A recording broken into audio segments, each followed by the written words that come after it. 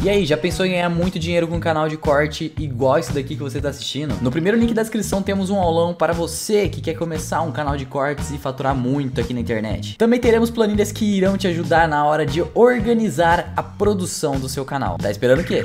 Quando eu te conheci, quando você tinha o Marcos Paulo lá, foi no Pânico. Tem uns 15 anos que a gente se conhece.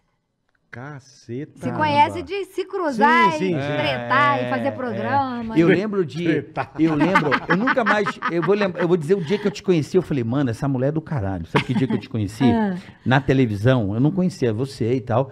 Um dia, essa aqui vai na Hebe. Senta no sofá da Hebe com Ele outras tava, mulheres. na, ele tava no- na, na CTI, quando eu fui na Hebe. Não, mas antes do Marcos Paulo estar doente, a primeira vez você foi na Hebe.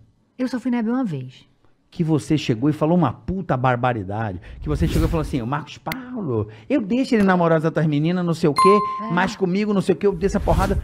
Eu falei, mano, essa mulher é muito louca. Aí, a- Comigo eu dei essa aí a. Hebe virou e falou assim, que isso, Gracinha, como ele pode? Ela ficou puta com você, você, qual é, Hebe? Careta, o caralho. Eu falei, mano, essa menina é da hora. O que que tem, Marcos Paulo? Ô, Hebe, vamos cair na real. Aquelas menininhas todas dando aquele diretor, né?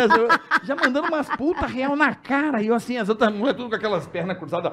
perna É, lá era, lá era foda. Era tudo, tudo madame, E essa aqui né? sentando no bambu. Eu falei, mano, quem é essa mina louca? Eu já louco. Eu falei, mano, quem é essa doidona aí? Ah, Você lembra desse não, dia? é que ele falava Ela ficou assim, olha, revoltada. Ele falava, a fulana foi lá na sala e perguntou se eu gosto de pelos dourados na perna. Eu falei, traz ela aqui para mostrar os pelos dourados Sim, das pernas. sim. Das pernas Que eu dou minha opinião, né? Se a gente gosta ou não. Não, você tinha dado um relato na Hebe que você, se ele tivesse que ter uma peguete, você... É, não, é porque a nossa relação era muito. Era muito franca, sabe? Eu acho que por isso que ele tinha esse respeito, essa admiração por mim. E a nossa relação não era como eram as outras relações dele. Porque no dia que ele virou pra mim, é, e ele disse que não estava preparado pra pra namorar, assim, porque ele era. Ele, ele já vinha de relacionamentos, mulheres ciumentas e tal. E ele não tava mais. tóxico, ele né? não tinha mais É, saco é, pra isso.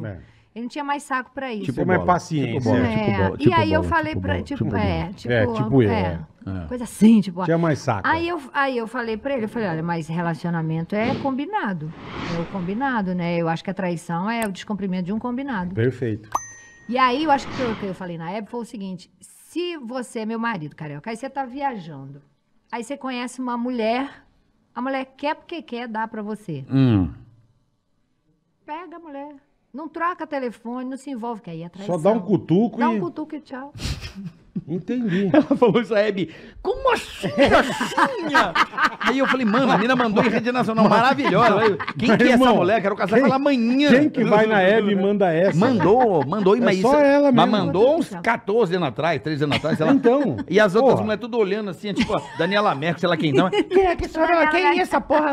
Quer fuder nós, cara? Tudo chifrudo.